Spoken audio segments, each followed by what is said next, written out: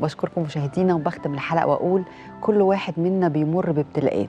أزعل وأقول ليه كده؟ ده أنا بعمل حسنات. طب ما يمكن دي رسالة وبداية حل المشكلات. دايما الابتلاء بيجي بعده كل النجاحات.